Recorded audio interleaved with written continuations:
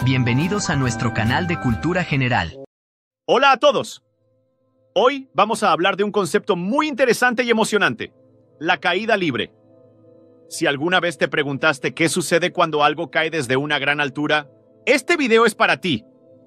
La caída libre es un fenómeno físico que ocurre cuando un objeto se mueve solamente bajo la influencia de la gravedad, sin la interferencia de otras fuerzas externas, como la fricción del aire o la resistencia del agua.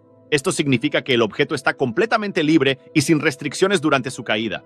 La forma más común de observar la caída libre es a través de los saltos en paracaídas. Imagina que estás en un avión y de repente saltas al vacío. En ese momento experimentas la increíble sensación de estar en caída libre. El viento sopla en tu cara, el paisaje se despliega ante tus ojos y la adrenalina fluye por tus venas. Es una experiencia emocionante y única que muchas personas buscan experimentar al menos una vez en la vida. Pero, ¿qué sucede en realidad durante esta caída libre? Bueno, primero debemos entender la fuerza de la gravedad. La gravedad es la fuerza invisible que atrae a todos los objetos hacia el centro de la Tierra. Es responsable de mantenernos pegados al suelo y de permitir que los planetas orbiten alrededor del Sol. En resumen, es una fuerza muy poderosa cuando saltamos desde una altura, comenzamos a acelerar debido a la gravedad. Esto significa que nuestra velocidad aumenta a medida que caemos. Pero aquí viene algo muy interesante. Aunque nuestra velocidad aumenta, nuestra aceleración es constante. ¿Qué significa eso? La aceleración es la tasa de cambio de velocidad de un objeto. En la caída libre, la aceleración es constante y se llama aceleración debido a la gravedad, que suele representarse con la letra G. En la Tierra, la aceleración debida a la gravedad es de aproximadamente 9,8 metros por segundo al cuadrado. Entonces, mientras caemos, nuestro objeto acelera a una tasa constante de 9,8 metros por segundo al cuadrado.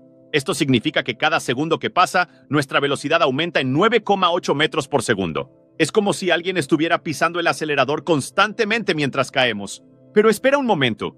¿Esto significa que cuanto más tiempo caemos, más rápido vamos? Exactamente. Cuanto más tiempo estamos en caída libre, más rápido nos movemos. Por eso, cuando saltamos desde una altura considerable, nuestro cuerpo alcanza velocidades extremadamente altas. Sin embargo, hay un límite para esta velocidad. Cuando caemos, llega un punto en el que la resistencia del aire se vuelve lo suficientemente fuerte como para equilibrar la aceleración debido a la gravedad. A esta velocidad, llamada velocidad terminal, ya no se produce una aceleración adicional.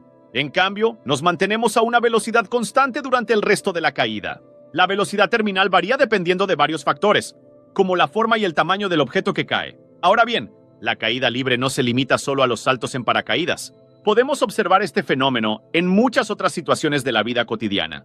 Por ejemplo, cuando dejamos caer una pluma desde nuestro escritorio, la pluma está en caída libre hasta que la resistencia del aire la frena y finalmente llega al suelo. La caída libre es un concepto fascinante que nos permite comprender mejor cómo interactúan la gravedad y la física en nuestro mundo. Desde los saltos en paracaídas hasta los objetos que caen desde nuestros bolsillos, la caída libre está presente en nuestro día a día. Entonces, la próxima vez que veas algo caer desde una gran altura, recuerda que está en caída libre. Y ahora que conoces los secretos de este fenómeno, Quizás puedas sorprender a tus amigos con tus conocimientos científicos. Espero que hayan disfrutado de este video y que hayan aprendido algo nuevo. Si les gustó, no olviden suscribirse y darle me gusta. ¡Nos vemos la próxima!